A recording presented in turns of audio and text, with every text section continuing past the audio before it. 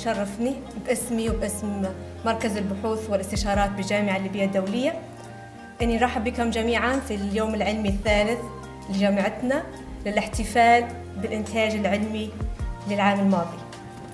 بدأنا العرض اليوم بالملصقات العلمية للطلاب عن كل التخصصات بالجامعة.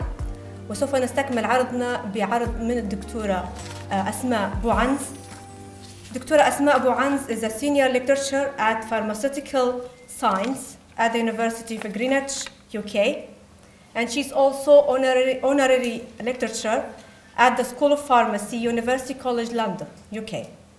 She holds PhD in pharmaceutics from School of Pharmacy, University College London, UK. She received uh, the highly cited Research Award Clarivate for 2021 and 2022. Today, her talk titled Reviews comes in all shapes and sizes. Understanding the different types of literature review will provide us uh, a general overview of all various types of literature review uh, with focus on most relevant types uh, in medical research. So please welcome to دكتورة أسماء. شكرا جزيلا. حبيت بس نبدأ بشكر الدكتوره سلمى أبو خطوة واللجنة المنظمة إنهم دعوني لي نقدم المحاضرة البسيطة. من هي ممكن يعني يشرفني إني نقدم المحاضره لأساتذتي. فحتكون من وجهة نظري أنا من من خبرتي البسيطة in medical research. And the reason I chose to, to call reviews come in, in all shapes and sizes is that we come with the perception that probably reviews there's one, one shape or one form of reviews, but they could be in different ways. And if you, if you look in the literature, probably you, you can, you can see that. And um, it can be confusing sometimes is that what actually looks like a, a review and uh, how to evaluate a review. So um, just as a start is that why do we care about reviews, why reviews are important? And from a clinical point of view, as a, as a um, so for the um, for for us to practice as a clinicians, or if we are um, at university and we're training um, uh, people who work in in the front line, so as a pharmacist or as a medics or nurses or whatever, uh, we we want to make decisions based on evidence. So with evidence-based um, practice, there are different uh, ways to, to explain it, and th there is a focus on it. And the research evidence is part of that um, uh, decision-making process. And for example, uh, John Hopkins, um, they, they identify it as being able to analyze and translate that knowledge of, uh, from the literature into selecting the best um, choice of, of um, treatment or, or um, care for patients. Um, there's also, it's almost like a, looking at um, reviewing the practice itself and making sure that if there's an outdated um, practice, to replace it with the most uh, uh, up-to-date and most suitable for patients. And for, to be able to do that, which is to, to, to, to get this knowledge from uh, scientific research, we need to be able to um, assess it uh, and evaluate it properly. And that's where views come in um, to meet that challenge, which is to be able to generate a summary of all, if possible, evidence within a, a specific area and looking at primary art studies as well. So this is a kind of a challenge, but at the same time highlights the importance of generating reviews and making trustworthy reviews and not just kind of uh, a, standard uh, type of uh, collection of information. I thought to start by just putting on the uh, Cochrane uh, um, co collaboration, which is a, a not-for-profit uh, organisation that's based in, in the UK, based worldwide, where they focus on systematic reviews or high, high quality reviews for um, randomized clinical trials. So they only publish very, very high quality reviews that will inform clinical practice and policy policymakers as well. So um, it is, uh, it, they have a vast library and they have a stringent um, criteria for people to be able to, um, to publish there. Um, as I said, it's just focusing on clinical trials. Uh, you submit a proposal and then they have their own training centre if you want to write for them to be able to, um, to write reviews within to meet that um, quality requirement for the review to be trustworthy. But um, scientific research and medical scientific research is not just about clinical trials. They cross the spectrum of, of research from the, and I think uh, coming from a, from a pharmacy background and doing pharmaceutical sciences, we look into preclinical studies, pre-formulation, formulation studies, and with these we really need um, a robust uh, way of reviewing the literature. Um, so probably this is what we usually have in mind when we think of reviews. Either they're narrative, meaning just opinion, opinion of someone writing about a specific topic. They probably select certain um, uh, papers. There's bias in selection. There's um, uh, not necessarily a very uh, qualitative, uh, quantitative or even qualitative summary.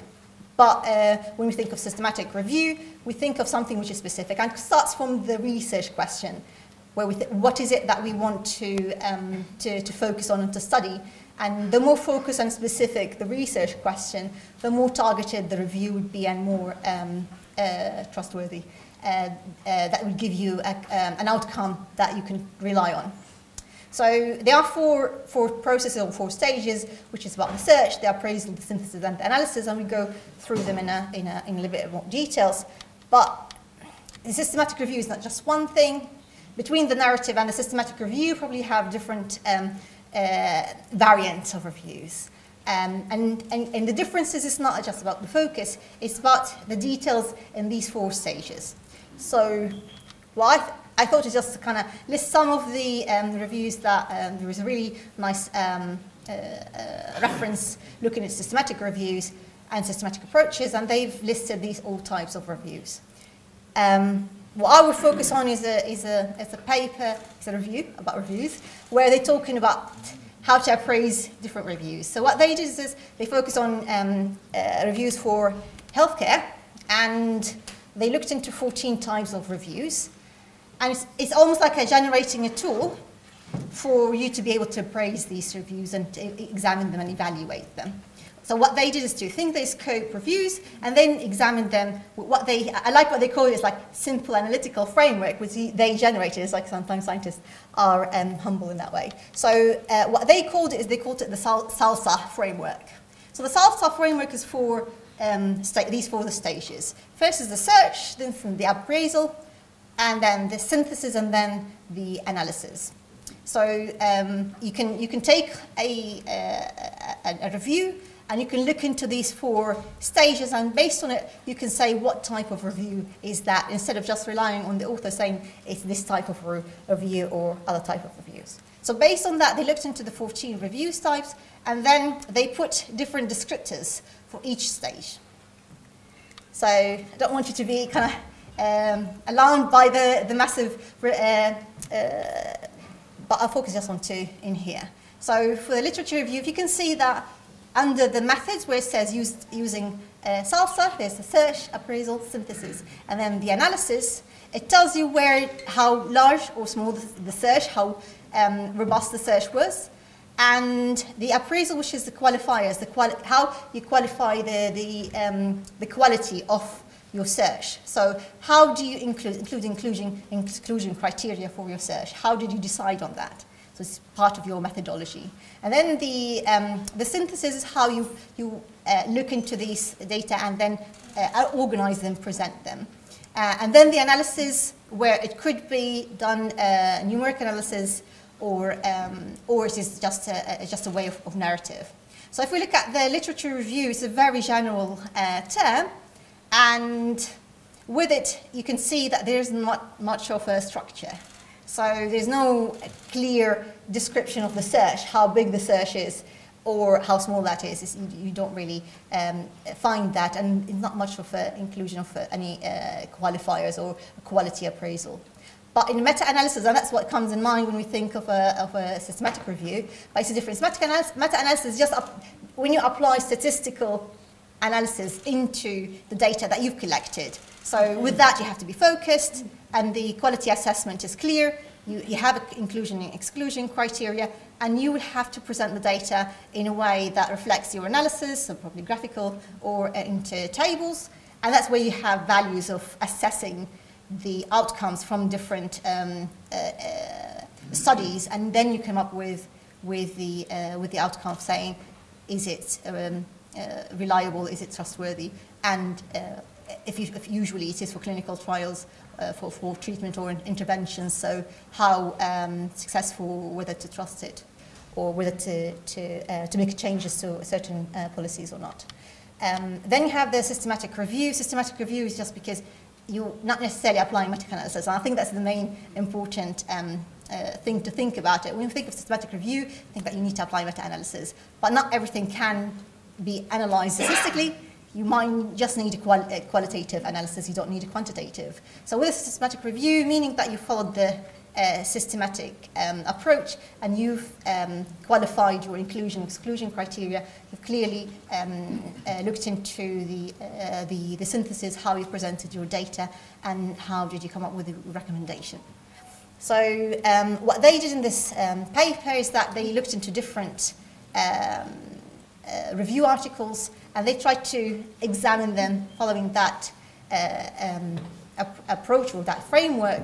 And you can clearly see the weakness even just skimming through the table that you can see the one that says none is the appraisal. So usually a lot of reviews don't tell you how did they do it. So what how did they include the papers that they included? How did they exclude the papers that they didn't include? Um, how did they uh, decide on what type of information to collect from that data. So that's what makes the review weak. So even if the ones that says systematic review, you might see that appraisal says none. So they really didn't say much of inclusion exclusion criteria. And with a, with a synthesis, just a narrative, so they, they talk you through the data that they found, not necessarily that summarize them into, into a, um, a, a comprehensive summary that you can, you can uh, extract more information from. So you just rely on their word, basically, for, for that type of the analysis. So this is just giving um, kind of the introducing the, the tool. So um, I think the take-home message from, from the work is that there's overlap in the methodologies of different reviews, and that um, we don't have an internationally agreed set of uh, criteria to say systematic review should be this, and the meta-analysis should be this, uh, critical review should be this type of, and the mapping review would be that way. So it's more of relying on the author to make that decision, or to tell you in their review that this is, uh, I've made a critical review, I've done that, I was like uh, submitting a, um, a paper into a journal saying we have done a, a, critical review and for the editors to, to either accept that or to challenge it. Um, but we didn't, we didn't qualify it. We didn't say why it, it was a critical review and it wasn't a scoping review. Scoping review would be more general and you try to get as much information as possible to cover as much um, publications as possible, while critical you might make it more specific. Um. So it's an important element as well, which is differentiating systematic review from systematic approach. Every review should follow systematic approach. Um, and that is where the method is explicit and reproducible. I think that's important. And probably you look at many um, review articles and you can see that you really can't reproduce what they've done. You don't really know where they got the, um, uh, the, the, the, the articles, how did they select them. So if we look at systematic um, approach is focusing about on the methodology and it is about focusing, so you can see clearly that the, the research question needs to be focused. and the criteria needs to be clear and explicit. So it, you shouldn't be guessing from reading the methodology, like, because they include this, probably their inclusion criteria is this, or they didn't include that, so probably their exclusion criteria is that. They should say it explicitly. Otherwise, it's not following the systematic, uh, systematic approach. And also about the, um, there's an interest of uh, conflict of interest, which is a, a very important um, element, and sometimes we don't think about it as like, I'm a scientist, you should trust me. But it's not the case. You should have clear um, uh, declaration of interest or any conflict of interest. And with Cochrane, they have a really strict criteria regarding the, um, the uh, conflict of interest. Because based on your outcome from the review that you've written, there might be a change in policy, there might be um, recommendation for specific treatment that could result in a financial gain for, for, for certain parties. So it has to be, um, uh, whatever you're generating needs to be trusted and even if you have um, a conflict of interest, if you declare it, then that makes it clear. Because if it comes up, if it shows up afterwards, that um, jeopardize the, the, uh, the, the, quality and the, um, uh, the trustiness of, of whatever you're generating. So declaration of, uh, of interest or any conflict of interest, uh, very, very important. And it's part of any research we do, but, but specifically for reviews because of the reliance on uh, or their impact on uh, policy making as well as um, other decisions. So um, the main um, examples of, of applying the systematic approach for search is about the, the scope of the literature, so how much you can search. Um, so you see that more um, evident in types of mapping reviews because you, are collecting as much information or as much data as possible while the appraisal probably see quality assessment in uh, interrogative uh, reviews. So you need to be really, really detailed in what you're including and excluding and why you are um, qualifying certain uh, decisions you made. Then with the synthesis, and that's how much rigor you, you, you apply to the data that you've collected, that's where the meta-analysis comes in, where uh, the, this, uh, the, the synthesis, the systematic approach is highly applied in, in meta-analysis. Then the, the analysis itself of how you uh, having your data? Is it qualitative? Is it quantitative? And um, last thing is the presentation. How do you present your findings? Because that's also part important part of your um, of the review. Um, are you using um, just narrative? Is it easy to follow? Are you summarizing in the table, so it's a tabular? Are you making um, uh, graphical representations? How are you re reducing the data that you've collected and extracting information from it? I think the important thing about review is not just collection of information, it's about being critical as well as making, some, uh, making sense of it and informing, uh, making a decision out of it, informing um, of the reader of what, what to make out of these data that you've, you've collected. So what I thought um, to look at is to examine an example review using the SALSA framework. So um, what I thought is, that, is take one of my uh, reviews. I didn't write so many reviews, so I thought to be critical and look at one of my reviews. Uh, I just retrospectively, I think that after doing it, I was like, I wish if I did that before I submitted it. But um, so this is a, a review about um, uh, looking specifically. So looking at the um, research questions that we looked at, uh, we were specifically looking at uh, one route of administration, which is intravesical delivery for bladder cancer. We looked specifically at non-muscle uh, muscle invasive um, bladder cancer, and we looked at specifically at combination therapies. So you can see that the research question was very, very specific. Um, it took us time to, to, to, come up with even just refining our research question before we started our, um, our search. Um, I give all the credit to, to the students. So Yuli is a, is a master's student and Shams is a PhD student, and she did her, that in, in her first year of PhD. Um, and looking at the, the scoping, we did the scoping first before we started looking into the, um, this specifically. The, the interest comes from um, from the point of drug delivery. So I, am not a pharmacologist I'm like, um, and I'm not a clinician. I am a, a, a formulator and um, uh, designing drug delivery systems. And to be able to design a, a, suitable drug delivery, you need to be able to understand the route of administration, what's out there and what is missing. and where the limitations are. So we were looking into vesical um, uh, delivery because it's, uh, it's a challenging, it's, it's, it's, it's invasive route. It's not a simple route of administration as you, would- you would give a, an oral delivery. Just a reminder, five minutes left. Sure, thank you. So, um, so with that, we wanted to see what is the where the area of um, of um, uh, uh, gap in, in the knowledge. So with the search, I thought to dissect my method. So with this with the search, we looked into two electronic databases and we looked in the clinical trials from the um, from the uh, from the US clinical trial uh, uh, website. So that's looking at uh, specifically into the search. So the search was, was specific, wasn't too broad. We specifically looked in PubMed and Web of Science because that's where we, the interests of the papers that we want are there. So PubMed has, is heavily clinical side and Web of Science is general and we look into uh, formulation as well.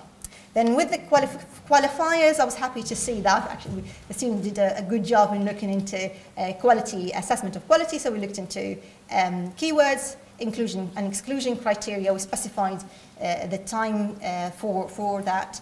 And we clearly, um, we were very specific on the intravesical, uh, uh, specifically uh, therapies, because they can, it can also have other specific um, other treatments, and we looked into the specifically into non-massive, non, non, in, non-invasive, um, uh, and we didn't look into uh, any of the metastasis as well. Um, and then uh, for the synthesis, we didn't do meta-analysis. That's the weakness of the review that we've done, but it is a, a systematic review. It wasn't a meta-analysis review. But the way that we did it is that we combined, we categorized the, out- the, the, um, the outcomes into different categories. Um, and that took some time to decide on where to, to put the device assess, assisted um, uh, treatment combination. Do we put it under, because it could be chemotherapy with, with device assisted, do we put it under combination chemotherapy or put separately? And then we decided to put it separately. And then we looked at novel drug delivery um, uh, platforms as well.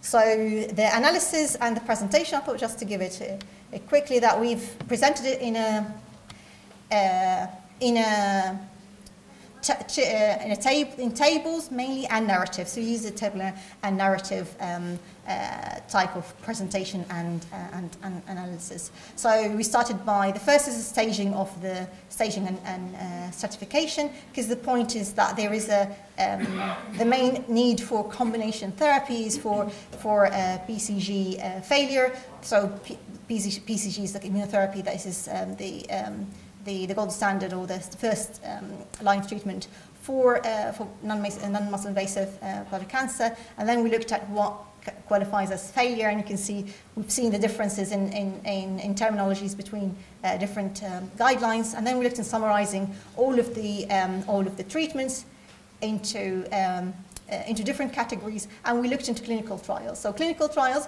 either they published in a, in a peer-reviewed paper that's after the, the trial finished, or we looked also to um, unpublished, so ongoing uh, clinical trials from, from the clinical trial register, and then we put them into um, uh, different categories and seeing where most of the, the treatments um, were focused. And uh, immunotherapy is the key uh, treatment because it's, it's the standard, and then you have combination either with chemotherapy or other treatments. And then uh, I think the key element was, for me, is the looking into the uh, platforms for drug delivery because that's the key key things, and that's where the gap was, which is the gap for um, treatment of um, uh, generating drug delivery systems that are capable of giving the, of delivering the combination. Because the issue, the main issue with, with, uh, with the combination is that they might have an intravesical one drug and then intravenously another drug, or you try to apply intravesical at multiple um, stages. So just a quickly, one slide, building on knowledge from literature review.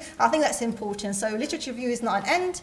Once you have a literature review, you can, it, it build, you can build on that knowledge that you've got. And this is where the, uh, the PhD of Shams comes in, where she's looking at developing a drug delivery system that's able to, uh, to, to, uh, to host or to, uh, to deliver um, a therapeutic agent and um, a diagnostic agent. So we're looking to a dye and we're looking to a treatment. So she developed a, a, um, a vesicle polymeric uh, polymeric uh, vesicles um, called polymersomes, and we uh, um, successfully were able to uh, load um, quantum dots into it as a, as a way of uh, contrast agent. And then now she's working on uh, loading it with RNA, so we look into more into, into gene therapy in that way.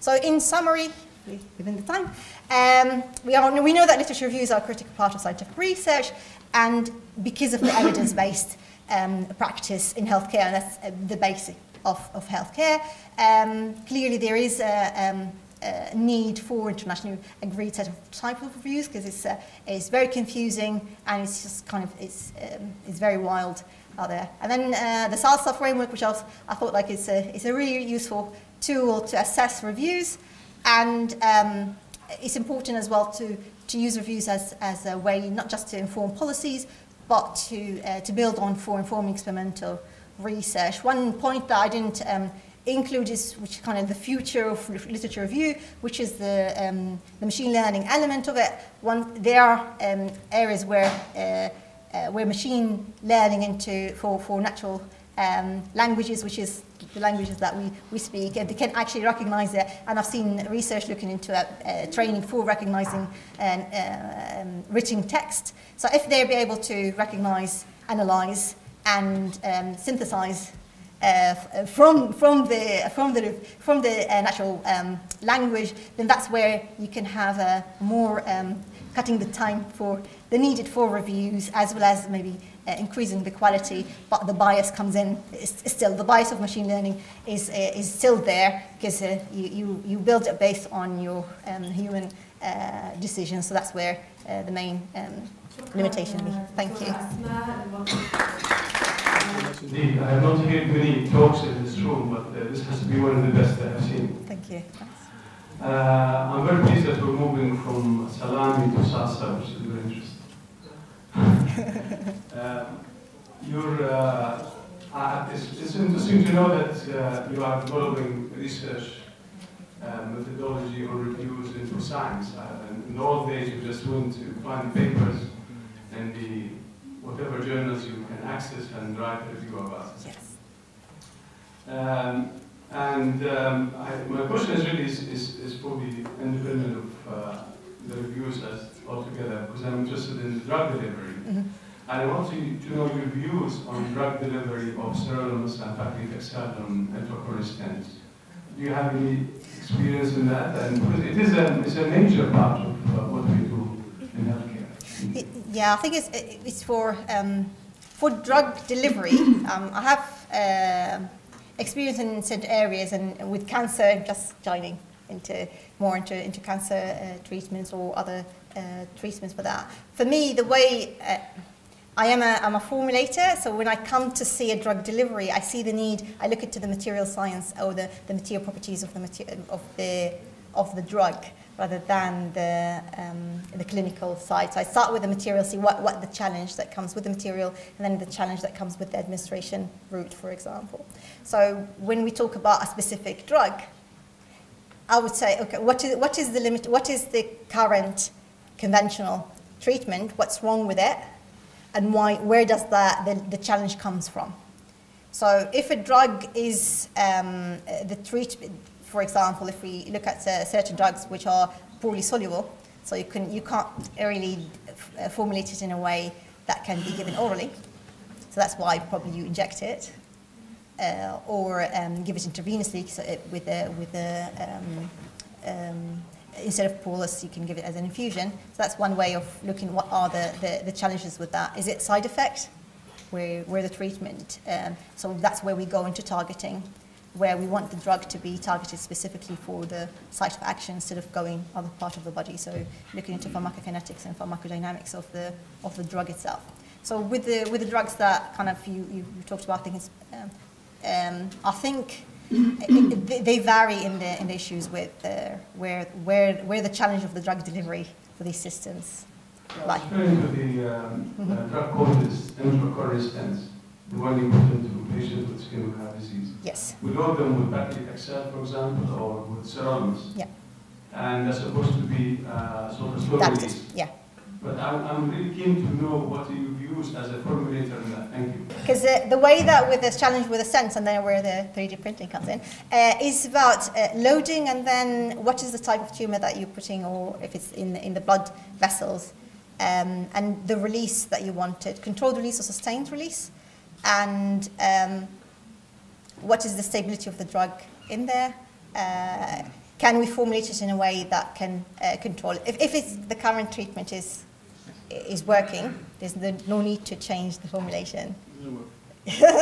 but if they don't work, and, and usually it is about um, the, it is it's loaded, but the drug doesn't come out from the from the stent, and that is where the um, the technology of coming deformulate into nanoparticles, which can then um, released, and then the drug is released out of from the nanoparticles. So if the payload is, is released or not from there, because usually these drugs, like paclitaxel, they have a really horrible uh, solubility in water, so they won't leave the, the scent, they just stay there.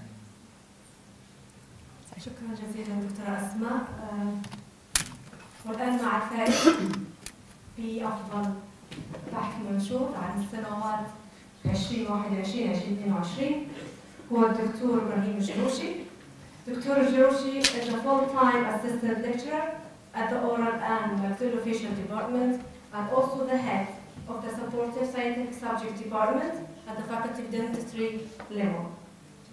He got his bachelor degree from LEMO um, in 2014 and he passed the MFD uh, examination at the Royal College of Surgeons of Ireland in 2016. He achieved or regained a Master of Science in Oral Implantology at Cairo University in 2022. And today, he will present to us his interventional randomized clinical trial study titled Evaluation of the effects of the lateral inferior alveolar nerve isolation bone grafting on the nerve function and implant stability, which was published in the Clinical Implant Dentistry and Related Research Journal, which is a Scopus Index as Q1 with impact factor 4.259. Uh, please welcome to Dr. Joshi presentation. Good afternoon, everyone. I'm glad to be here today presenting my research at the uh, third LIMU scientific meeting concerning the uh, posterior mandibular uh, severely resorbed ridges. First of all, to introduce my topic, I would like to say, uh, before that, I would like to thank uh, Dr. Rafiq for his input in, at the LIMU committee, research committee, and Dr. Salma. Uh, today I'll be talking about the uh, inferior alveolar nerve lateralization for an, an, introduction. First of all, we all know after teeth loss, uh, severe bone resorption occurs in the alveolar in the alveolar process, and that's why it's challenging for the clinician to restore the the teeth after extraction, after being extracted. To simplify the situation, here is the Cawood and Howell 1988 patterns of alveolar bone, bone resorption. As we can see here, after extraction, there's a pattern of bone loss. First of all, it's loss in the vertical dimensions and also as well as the horizontal dimensions. Uh, to resolve these problems, we have, first of all, either after extraction, we place an implant or if we have a thin ridge, we go for ridge splitting a procedure which called ridge splitting, block grafting, guided bone regeneration, adding a titanium mesh, or if we have a low ridge, we could use short implants, all in four concepts, guided bone regenerations, trespass, lateralization, and transposition, which is three different concepts, but basically with the same objective. I will be explaining about them in details in the few next slides. As I mentioned, we can extract the tooth and place implants immediately to resolve this problem or to uh, prevent bone resorption. Here's a ridge which is good in width, but there's a, a, an extraction socket so we can place an implant. As I mentioned, ridge splitting to increase the width of bone. We use a saw disc here to split the ridge. Then we could, it could be done in two stages or single stage. This is a case of two stages adding a bone graft to increase the width and after six months we will place the implants. Block grafts, here's a photo of uh, gaining a bone graft from the ascending ramus, block grafting using a piezo surgery device. All of these are examples for the solutions of bone resorption. But today we're going to focus on the posterior mandibular ridges and the resorption which occurs. So here's the question is what's the main problem in dealing with the implants in the posterior mandible. We have this structure which, which is in yellow here, the inferior alveolar nerve. After teeth loss, and there is a bone resorption, this structure is presented in the middle of the mandible. So when we want to place the implant and there is a resorption, we are endangering the, the nerve. So the solutions here, we have three solutions. Either we trespass the nerve, we put the implant either buccal to it or lingual to it, or we, another solution, we would move the nerve from its place and take it to another place and place our implants, which is demanding situation. To reposition the nerve, we have two options. Either we include the interforamen and we call it transposition, we change the position of the nerve to another position, or we take it in a lateral position, we open a window through the bone and take it out in a lateral position and place our implant, and then we put the nerve back in its place. There is advantages of, of course, advantages and disadvantages of this technique. One of the main advantages to retract the nerve and put the implant is that the implant will gain an anchorage from the occlusal surface, the cortical bone, occlusally and the cortical bone in the inferior border of the mandible. Also, there is another advantage, as, as I mentioned before, when we go for block grafting, we, had, we have to, to, to go for two stages. The patient will go for a grafting, and then after six months, after healing, we'll put the implant. And this procedure, we retract the, the nerve and we put the implant at the same time. Also, uh, we could allow for placement of longer implants. For this the disadvantage, it is a technique sensitive. It does not compensate for the crestal bone resorption. It's also uh, we could risk the mandible for fracture after removal of bone and putting an implant. We could also risk put the mandible in risk of fracture. Also, which is the most important, is the, is the uh, neurosensory disturbances. As we all know that, that any manipulation to the nerve is, will cause uh, neurosensory disturbances. And that's why our study aimed to reduce this neurosensory disturbances. So uh, we published an, uh, an, article which was accepted in the 5th of April 2021 in the Clinical Implant Dentistry and Related Research. Uh, we represent a prospective randomized clinical trial that evaluates the coupled effect of interposing bone graft and securing collagen membrane separation between the nerve and the implant surface versus a group in which we put the nerve, we, we uh, put the implant and place back the nerve on the exposed surface of the titanium implants. And I will be explaining this in details in the few next slides with photos. Uh, our approval and registration, the clinical trial was inconsistent with the Helsinki Declaration of Ethical Approval. The authors obtained written informed consent from all the patients. Also, the study was registered in the clinical trial under the registration number of 03664219. A total of 30 surgical sites was included after calculating the sample size and this study has been enrolled. The patients, all the patients had a computed tomography CT scans while applying an occlusal radiographic scan. All the patients were independent investigator randomly allocated them into two groups. The assigned randomization was conceived of securing the, uh, the tag surgical interference sealed envelope, which was rendered to the operator just before the surgery. Our surgical procedure, first of all, under profound local anesthetic solutions. We opened a full mucoperiosteal flap, as you can see here, and we exposed the bone. Then, using a piezosurgery device with the predetermined uh, calculations with a Michigan O probe 5 millimeters posterior to the mental nerve, we did our osteotomy, taking out the cortical outer plate from of the bone, and with the graduated chisel, we take it out with the chisel and the mallet. Then we excavate all the cancellous bone and peeled off the cortical sheath around the nerve. As we can see here is the inferior alveolar nerve. We retracted and we placed an uh, uh, dull instrument to protect the nerve while we place the implant just behind the nerve and then we place back the nerve.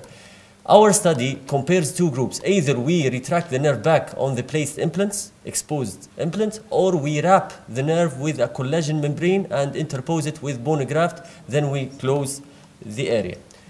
Our measurements consisting of three uh, three objectives. First of all, we measured the neurosensory disturbances using the MRC scale, which is the Modified Medical Research Counseling Scale, uh, including the light touch pain and two-point discrimination test. Also, we assessed the implant stability immediately after placement and after six months using the Osstell device.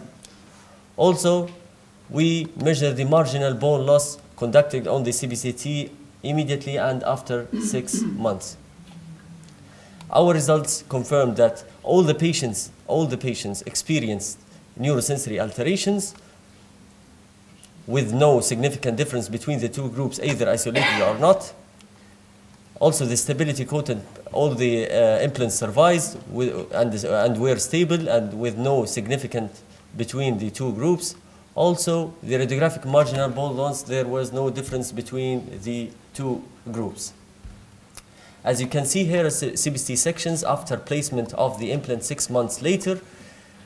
In the, in the figure A, there is a gap, small gap between the implants placed. This is the radiopaque material, which is uh, the implant, and the canal nerve isolated from the implant. The gap is too small here. This is the group in which is, the nerve is not isolated. As you can see here, the isolation between the nerve and the, uh, the implant, uh, dense cortical bone formation surrounding the inferior alveolar nerve, which is bridging the gap in between them. For our conclusions, although demonstrated the dense cortical bone, which we can see here, formation surrounding the inferior alveolar nerve canal, and intervening the gap, it neither subsided the neural disturbance nor enhanced secondary implant stability and marginal bone loss. Even though, even though the neurosensory disturbances regained the group in which has been isolated has been regaining faster faster than the other group but with no significant on the statistical analysis our recommendations as authors that the inferior alveolar nerve procedure is to be done when the nerve is at the middle of the uh, mandible or just buccal not lingually as far as the, as the nerve is pushed more lingually, that means more manipulation, more neurosensory disturbances.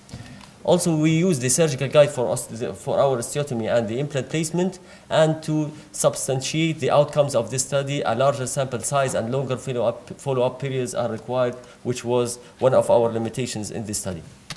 Those are our teams from uh, collaborated with us from Cairo University, Dr. Muhammad Ataf, Dr. Rami Beri, Amr Jibari, and Dr. Muhammad Hadidi. Thank you all for listening. Uh, comparative analysis of anti-SARS-CoV-2 SRBD IgG levels among heterogeneously vaccinated adults in Benghazi, Libya. الطالبات اللي حيقدموا لنا العرض هي طالبة فاطمة الزهراء السنوسي أسيل المهدوي نور اللافي فليتفضل على المسرح. Okay, uh, good afternoon everyone. Uh, let me, let me uh, first of all, let me thank you all for attending our presentation. Let me also introduce you myself, Noor Al-Lafi, and the other presenters, Fatma Sunusi and Asil Al-Mehdoui. As you all know, COVID-19 pandemic hasn't been eradicated yet, and getting protection against this infection is important to save many lives. Also, uh, almost all vaccines have been released very quickly, uh, and, and their efficacy has been questioned, especially in areas with a regular vaccine supply, uh, several previous studies were conducted worldwide, but only a few considered the regular supply as a factor. And to our knowledge, no, uh, no such studies were conducted in the country before. So our project is titled as the Comparative Analysis of Anti-SARS-CoV-2 SRBD IgG levels among heterogeneously vaccinated adults in Benghazi, Libya, uh, to find out which vaccine would give a better protection against this global issue. So the contents of our research will include the following, starting with the introduction, then the study's aim, materials and method, results and discussion, limitations, and last but not least, our conclusion. And now the introduction will be started by Fatma.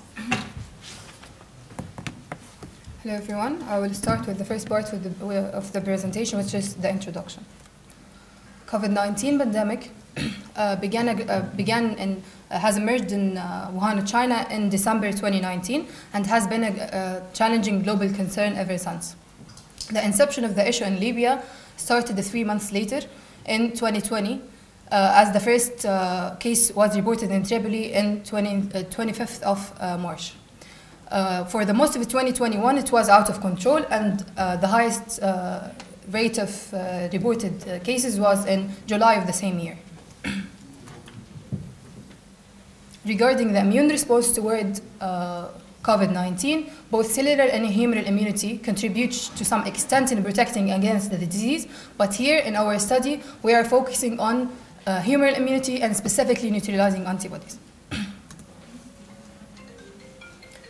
This picture clarifies the uh, interaction between host cell or our cells and the virus, uh, focusing on uh, the uh, focusing on the critical role of spike protein uh, that bind to ACE2 in the receptor, uh, mediating fusion, thus the whole replication of process following. And neutralizing antibodies by blocking this interaction was discovered to be able to uh, prevents fusion and replication, thus the, the spread of infection, and uh, that provided uh, a better prognosis of the disease. So why we chose neutralizing antibodies as a way to assess uh, the efficacy of vaccines. Besides being a applicable and convenient way to measure the efficacy, many studies have found that uh, passive vaccination or transferring uh, passive neutralizing antibodies to both uh, animal models and humans was, was able to diminish the severity of the disease.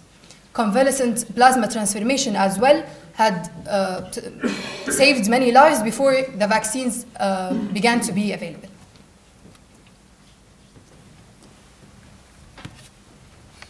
Uh, the WHO has announced the efficacy of each vaccine, and as you can see here, uh, AstraZeneca has the highest efficacy, which is 64%. Uh, I mean, sorry, uh, Pfizer. Pfizer had the highest efficacy, which is 95%, followed by uh, Sputnik with an efficacy of 80%, 79% for Sinopharm, about 64% for AstraZeneca, and finally 51% for Sinovac.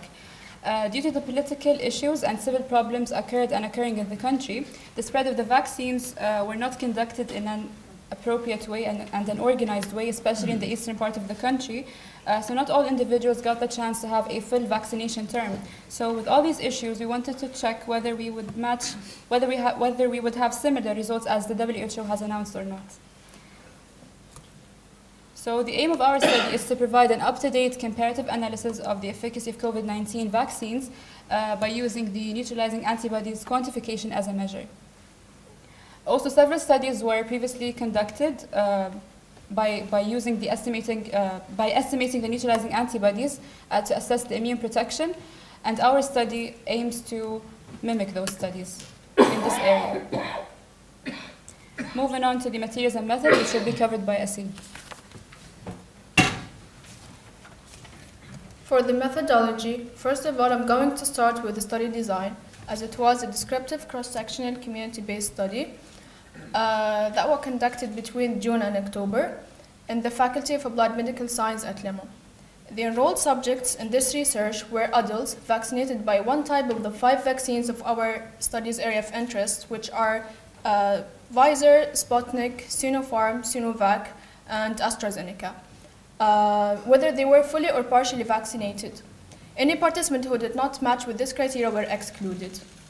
Uh, this study was approved by the Faculty of Applied Medical uh, Science and informed consent was obtained from the all participants before proceeding any step uh, along with full explanation of, of the procedure and the aiming of this research.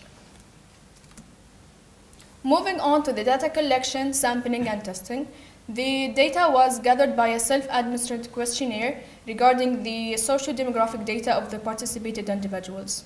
The samples was collected by taking a 5 milliliter of EDTA uh, venous blood from the uh, volunteers and the samples were centrifuged to separate the sera to be placed in a Mindray uh, CLI 900 uh, machine. Uh, this machine works by a two-step assay named CLIA for quantifying the anti, uh, anti-SRBD antibodies by using the CAT uh, CIVD. For lastly, for the statistical analysis of this research, uh, the tests that were done in this research are an independence test, one-way ANOVA, uh, preceded by post-hoc analysis for more detailed information. And now leaving you for next to our results and discussion.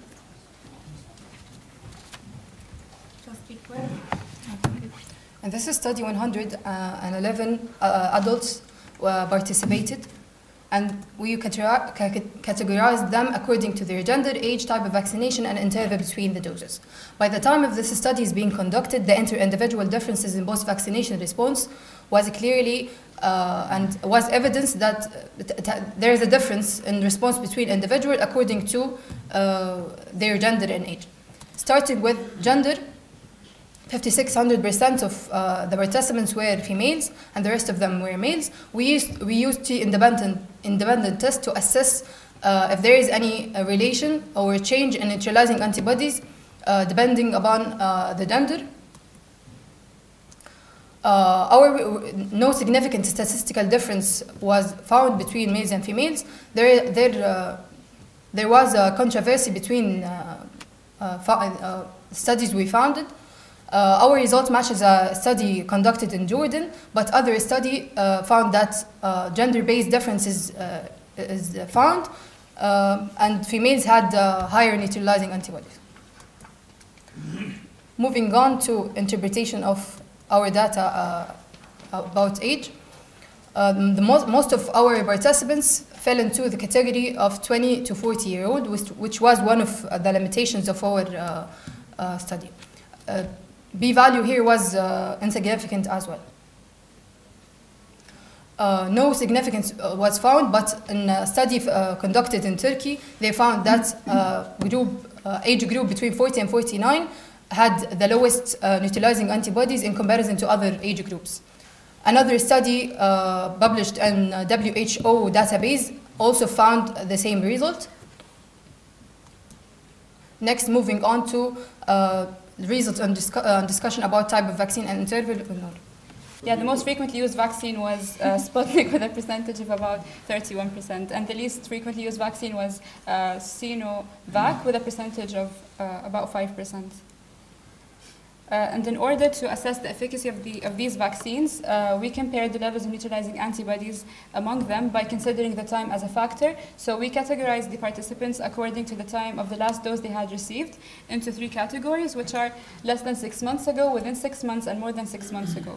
But comparing the means between these categories was not applicable uh, due, to, uh, uh, due to the uh, unequal distribution of the participants between the, between the categories. As you can see here, the, uh, the category more than six months ago had 73 participants, while, uh, on, uh, while we only have six participants in the category less than six months ago. So our results regarding the efficacy of the vaccines, uh, regardless of timing, was, um, was significant with a p-value of about 0.014, which, which means that there is actually a significant difference between the vaccines. So for more detailed information, uh, the post, this table shows the post hoc analysis, uh, as it shows that the that the uh, significant differences were mainly between Pfizer and Sinopharm, Pfizer and Sputnik, and AstraZeneca and Sinopharm. Uh, for the interpretation of the previously mentioned results, uh, starting with Pfizer and Sinopharm, our results had observed that Pfizer uh, generally induced high, higher levels of neutralizing antibodies when compared to Sinopharm, even though our sample size for these two vaccines was limited, which was uh, 16 for each. In Jordan, a comparative study between these two vaccines specifically and with a higher sample size uh, had matched our findings. Moving on for uh, for the comparison between Pfizer and Sputnik, uh, to our knowledge, there was no direct study comparing these two vaccines specifically, uh, but a Mongolian study had observed that having uh, that generally Sputnik and Sinopharm induce lower levels of neutralizing antibodies when compared to AstraZeneca and Pfizer.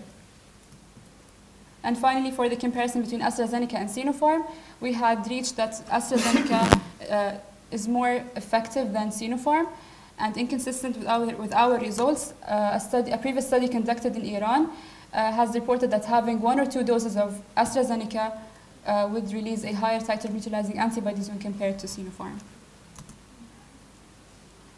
And now I'm going to leave you with the last section of our results, which will be covered by Asil. And now we'll be covering the interval between the doses, which is the most interesting part in our research. Uh, the interval between the doses and uh, of the vaccine that were taken by the participants were categorized according to the uh, period into less than uh, 8 weeks, between uh, 12 and uh, 8 and 12 weeks, and more than 12 weeks.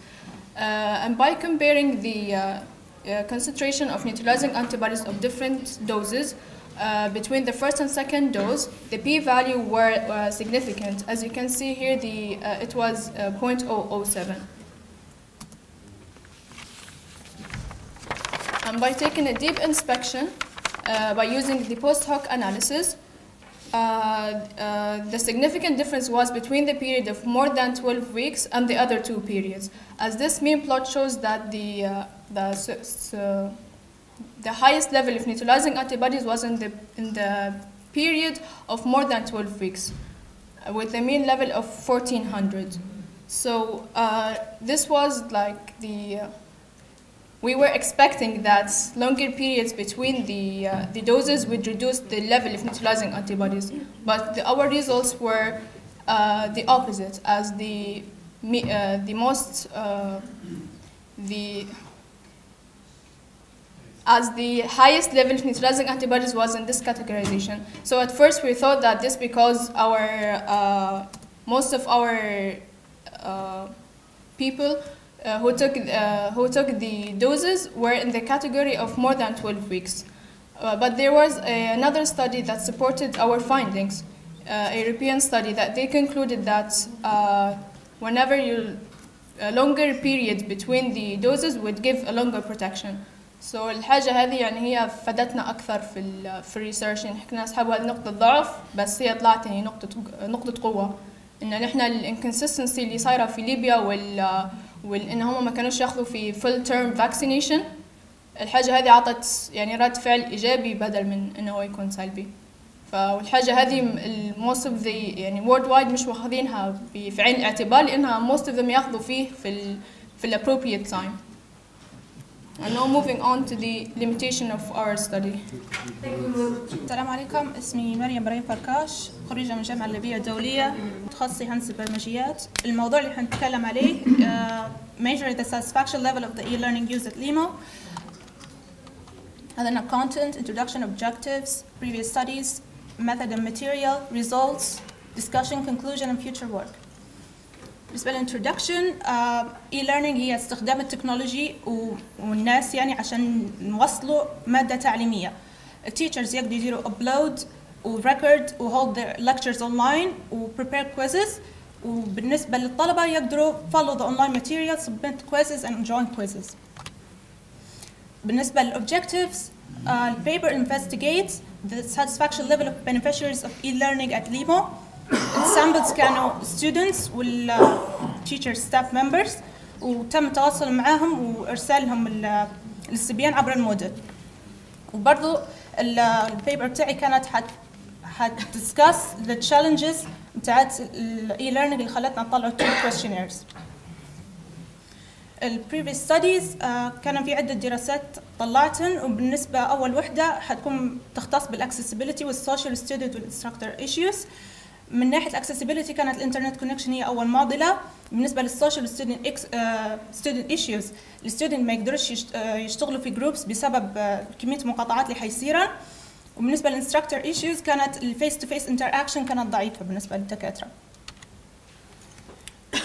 دراسة ثانية آه، تختص من ناحية ترانسميشن والدليفري تشالنج الترانسميشن والدليفري مقسمة إلى ثلاث أقسام. سينكرونس اي سينكرونس بلندد بالنسبة للسynchronous التيتشرز لازم آه، يتماشوا أنهم آه، يكونوا لايف من ناحية ما يعانوش من لاج بالنسبة للاسynchronous لازم يكونوا motivated not isolated. بالنسبة للblended لازم يختاروا الماتيريالز اللي بيعطوها اونلاين يعني لازم يختاروها كويس. يعطوها اونلاين ولازم يعطوا الماتيريال كويس اللي حتكون اوفلاين uh, collaborative cooperative learning اللي هي بالنسبة للcollaborative cooperative uh, هي عملية تفاعلية تصير اونلاين وكانت المشكلة هذه uh, حتكون معضلة لأن ما فيش تواصل بيناتهم في الواقع. والثيرد ايشيو كانت evaluating performance اللي هي uh, نسبة تقييم الطلبة كيف تبي تقيمهم اونلاين كانت العملية التقييمية صعبة. وآخر تشالنج اللي هو enabling technologies أنك لازم تختار الانفراستراكشر المناسبة مع الباندويث المناسبة. والدراسة الأخيرة كانت اونلاين ساتسفاكتوري اونلاين ساتسفاكتوري فاكتورز لأن كانت 3 فاكتورز في دراسة بجامعية في أمريكا. كانت أول فاكتور بالنسبة لهم ستودنت الفاكولتي ممبرز كانوا يشكوا من limited interaction. وبالنسبة للانستراكتور فاكتورز كانوا يقولوا آه، لو في technical difficulties معناها الساتسفاكشن بتاعنا حيقل. بالنسبة للانستتيوشن ريليتد فاكتورز كانوا يتوقعوا الفاكولتي ممبرز أنهم يقضوا وقت أكثر وهم يديروا في البرزنتيشن أكثر من traditional courses. Material method. الدراسة بتاعي كانت في 2020 2021 أم، نوعين من الاستبيان تم توزيعهن. واحد على صعيد الطلبة وواحد على صعيد الدكاترة. النتائج كان عددهن 170 طالب و47 teacher staff members.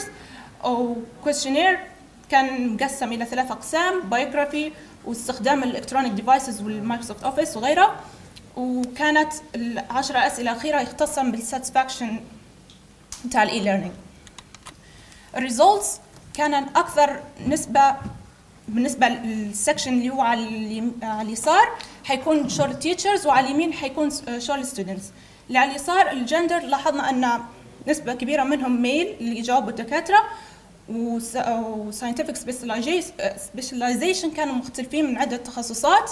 وبرضه نفس الشيء مع الطلبة.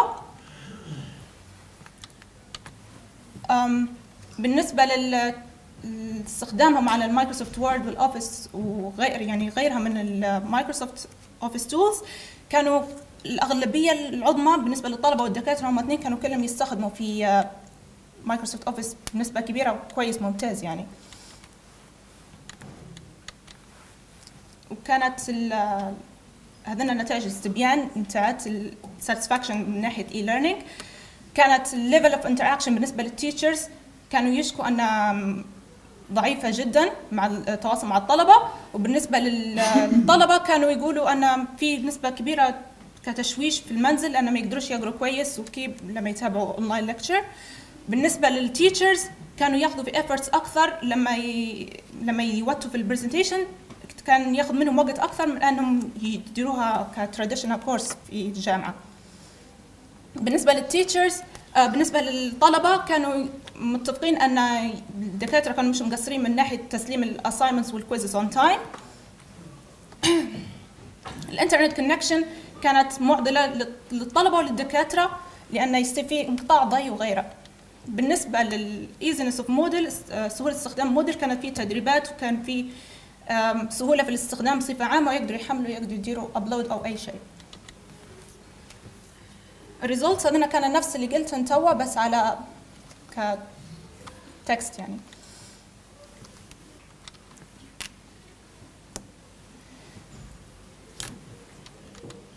In conclusion, e-learning is a complex task that requires commitment from faculties and can be time consuming. آه، بالنسبة للدراسة هذه كانت آه، يعني وفقا لدراسات سابقة طلعت أهم التشالنجز كانت اللي أثرا على تطبيق الإي ليرنينج في الليمو ومن هذه التحديات طلعنا أهم الامبورتنت انكويريز اللي كان يحسن من استخدام الإي ليرنينج واستخدمناها في هيئة سيرفي عشان نشوف الط- الطلبة والدكاترة راضين أو لا. future work أن نديرو investigate uh, more challenges و more questionnaires ونديرو extend الستادي هذه ل other uh, جامعات أخرى يعني ونديرو كنتر- uh, interviews عشان نوضحوا الأجوبة لأن مش كل حد يقدر يجاوب بتركيز تام. وهذا references. Thank you. Hello everyone, my name is Shahad Hassiya and I'm a fourth grad student in the Faculty of Business Administration and my majority is Banking and Finance Management. My project title is The Impact of Bank-Specific Variables on Stability of Banks in MENA region. So the content of this presentation, I'm going to start by the research objectives and finish by the limitations. The research objectives of this study is to examine whether the capital has an impact on the stability of banks and to assess whether the size of a bank has an impact on the stability of banks, to investigate the loan ratio, the loan to assets, and non-interest income if they have a uh, impact on the stability of banks, and also to examine the lost loan reserves. So the research importance of the study are beneficial for various stakeholders such as the policymakers, and the managers, shareholders, and also the future investors. So this study outlines the importance of the banking sector in MENA as this uh, uh, region needs to transform its oil-based economy from a market-based economy. So the research problem is profitability and stability are a very crucial variable for the survival of this uh, banking sector. So stability of banks helps improve macroeconomic factors, of course, the, uh, the GDP, and also uh, many other factors. Examining bank-specific variables provide implication that will be in favor for a sound banking sector. So this uh, project uh, structured in five chapters, the first chapter, second, third, and the fourth, and the fifth. Each chapter provides the, the first chapter provide an introduction, the second, the literature review, the third, the data and methodology, the fourth, the empirical findings, and the fifth one, and the final one, is the conclusion. This study aims to examine how bank-specific variables impacts the stability of banks, specifically in the MENA region. So this study collected 149 banks from 11 MENA countries. So variables used in the study were also collected from the BankScope and the World Bank Outlook from the period 2000 till 2015. Here are the definition of variables. Uh, it starts by the Z-score and finishes by the INF, which is the inflation P, which is one of the macroeconomic factors. The regression model, this one has been used in this study, which is Z-score equals B, 1, 2, and 3, and these are the uh, variables. Here are the regression findings. Some of the results have negative impacts on the stability of banks. And uh, two and the foremost uh, positive impacts were the EQAS, which is the profit, and the cost management. The key finding of this study is that capital adequacy has a huge and significant impact on the stability of banks, while the other are influenced negatively by the uh, stability of banks.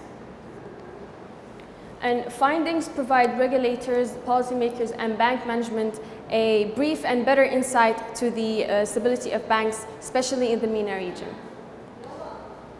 So this study is limited to that the data set is only from the 2000 to the 2015. And up to date, there's no sufficient number of papers that study MENA region exactly. So this is a lack in this uh, study. Other variables such as non-performing loans and spending on bank employees were not collected due to unavailability on the BankScope. Thank you for your attention. Assalamu alaikum, doctors and colleagues. It's my pleasure to be here at the third LIMU Scientific Day. Our presentation is about dental anxiety among university students and its correlation with their field of study. Our outlines for today will be introduction, materials and method, results, discu discussion, and summary. Dental anxiety is an emotional state of stress towards dental treatment. It is a patient-specific response which can be a problem for both patients and dentists. So people with dental anxiety usually delay uh, going to the dentist and delay or neglect uh, dental treatment because of the invasive procedures such as injections, using sharp blades, or drilling their, drilling their teeth. Norman Corah uh, developed an anxiety scale in 1995 هو كان عبارة عن uh, four question uh, rating scale. Uh, بعد داروا له modification في ال uh, sorry Norman Corah developed في ال 96 ال dental anxiety scale. داروا له modification في ال 95 uh, ضافوا له fifth question فقعد modified dental anxiety scale اللي هو استخدمناه في الستادي متاعنا which I will discuss in the materials and method. The aim of this study is to estimate the levels of dental anxiety between students from different faculties at Libyan International University. A total of 1,988 students were enrolled. Uh, 1,988 students were enrolled to this academic year 22-23 من سنة أولى لعند سنة خامسة كانوا at LIMU a sample size of 350 participants with a confidence level of 95% that the real value is within uh, plus minus 5%. As I mentioned, نحن استخدمنا modified anxiety scale كان a rating from not anxious which indicates for score 1 to extremely anxious which indicated for score 5 السامري متاعهن يا اما حيعطيني سكور 5 or score 25 الكات اوف كان 15 كسامري this indicates ان they are densely uh, anxious or possibly densely phobic Uh, an Arabic version was added للquestionnaire uh, نحن قمنا بتوزيع الكويستشنير على طلبة الكلية uh, شرحنا لهم طبيعة الستادي متاعنا وخذينا منهم موافقة هذه صورة للكويستشنير كان متضمن الايج الير الفاكولتي والجندر أول سؤال كان uh, على الابوينتمنت لو عندك you're visiting a dentist. uh, ثاني سؤال كان على you, if you were sitting in the waiting room. uh, ثالث سؤال كان if you have about your teeth drilled. uh, رابع سؤال كان على السكيلينج والبولishing والفifth question اللي هو they they added كان على local anesthesia. ف 350 questionnaire, uh, questionnaires were distributed, 339 were returned, 16 were excluded because they have been completed partially. So a total number of 323, uh, which accounts for a response rate of 92.2%. Uh, statistical analysis was done by SPSS version 19. A total of 130 were males, whereas 210 were females. أغلب البارتيسيبنتس كانوا من الفاكولتي اوف ابلايد ميديكال ساينس والليست بارتيسيبنتس كانوا من الإنجينير والبزنس. الديستريبيوشن للايج كان from 17 to 28 years لكن most of the participants كانوا from 17 uh, to 19 years. Most of participants كانوا uh, من الفيرست year بنسبة 39% So a total of uh, dental anxiety among LIMU students كانت بنسبة 95.5%. So the highest anxiety score, uh, which indicates for score 4 and 5, uh, was given applied medical science students نسبة 23%. The next most highest كانت information technology والpharmacy نسبة 19.4% و 18.1% respectively. Uh, بالنسبة للكليات الثانية ما كانش uh, في difference واجد يعني. The least anxiety level was given للfaculty of medicine uh, بنسبة 38.4% و information technology بنسبة 13 uh, 30.7%. Most of the students in all, all departments obtained score 2 to 3 uh, اللي هي moderate uh, anxiety level. هذا جدول يوضح النسب في كل كلية uh, زي ما ذكرت ان الفاكولتي اوف ميديسن هم they obtain score 1 most of them uh, obtain score 1 والفاكولتي اوف AMS uh, uh, obtain score 4 و 5 كانوا most participants. In order uh, باش نحن نشوفوا انه كان في statistical significant أو لا استخدمنا ال one way ANOVA The p-value can 0.056 which defined in that there was no statistical significant difference between mean and anxiety level لل different seven faculties. ف lack of dental education ممكن تؤدي إلى uh, patients fear and anxiety which ends up in poor uh, patients' compliance. In view of the current available data, it appears that further dental health educations uh, or health education measures are required. في study uh, دارت في uh, at Jordan University of Science by Wael Amari and his colleagues in 2010 reported that dental students had lower uh, levels of anxiety uh, than engineering and medical على عكس ال, uh, our study نحن طلعنا ان medical students with IT had lowest anxiety scale level than dental students. Uh, في systematic review cross section study دارت في السعودية في السنة هذه by Muhammad and his colleagues showed in a percentage of males uh, were 60% uh, whereas females were 40% على عكس الستادي متاعنا female participants كانوا أكثر من المales So people with high dental fear uh, may prove difficult to treat and they require uh, much more time and they can also be a source of stress to the dentist. So it was conducted and, and medical students had lowest anxiety scores uh, whereas applied medical science students were very anxious. Field of study was stati statistically insignificant and this is the first study which was done regarding uh, dental anxiety in Libya. Uh, further studies طبعا they, they are required to be in, to investigate the effect of correlates وواحدة من limitations كانت إن sample size can quite small ف larger sample size uh, should be obtained in the further studies. Here are my references and this is our research team. Uh, أتقدم بالشكر للدكتور إبراهيم الجروشي اللي هو كان الداعم الأول لنا في uh, في البحث وكذلك أيضا الدكتورة ندى بن علي ساهمت في نجاح هذا البحث. So while we start, we are uh, ending up our program for today. Um, شكرا جزيلا للكل على حضوركم. We are so proud of what we أنتجنا من إنتاج علمي للسنة اللي فاتت. Uh, راح نعطي الكلمة للدكتور محمد سعد للختام. Um, first of all, we're very proud of uh, what we have heard, and I think uh, a lot of work that has been done, not presented today, which is equally important, and I think it is um, an opportunity for us to see uh, at least, um, I, want, I, don't want to say the best, but um, uh, um, yeah, the, the favorable ones that um, is uh, available for, for us to see. Uh, and I have a bit of comments. First, uh, we're very proud of the way that the presenters, our students, um, they are presenting the material they are presenting, and I think, um, if not all, most of them are publishable, and I think they, um, they have a very good chance. And we have to um, encourage our research center in looking after publications. I mean, um, seeing, um, give the, the help needed for these young researchers to publish their work. It's, it's very important. And I think what is important for us is um,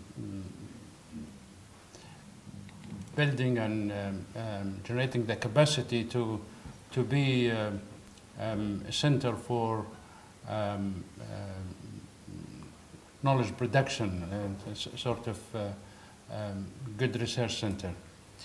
We are coming to a next stage where postgraduate programs are uh, starting, and I think that will um, raise the, um, I don't want to say the standard, but um, raise the scope um, in getting a more and more uh, valuable work. I think what had been presented today um, gave us the impression that the time was not uh, enough. I should propose that um, we need to have an activity like a journal club where we have a, a, a sort of uh, um, meetings where we can um, discuss uh, and have the, um, have the chance to, um, to discuss this, this important work. What is important today is to give um, the credit for the ones who uh, paid an attention to research and to publications and to um, uh, doing that, that work. Um, that was the aim from our university requirements that everyone has to do uh, project, has to do um, a sort of work. Um, I was pleased what I have seen and I think we have to um, make more um, and, and expand more um, emphasis on, on, on, that subject. And, I, and I'm sure that our research center will, uh, will look after that, uh, uh, that, that subject. Um, um, I know it is a bit late. I don't want to expand in my notes, but I'm very proud of what we have heard today. I'm looking forward for um, future where we have um, um, a, a, better and, and a more and expanding experience of having this. Thank you very much. And by the way, um, uh, um, uh, wish you happy new year. And uh, this is our last uh, year in 2022. Uh, with all its uh, hurdles and all its there, I hope this coming year will be um, prosperous, fruitful, um, peaceful, and um, um, better year for LIMU as well and for country. Thank you. Thank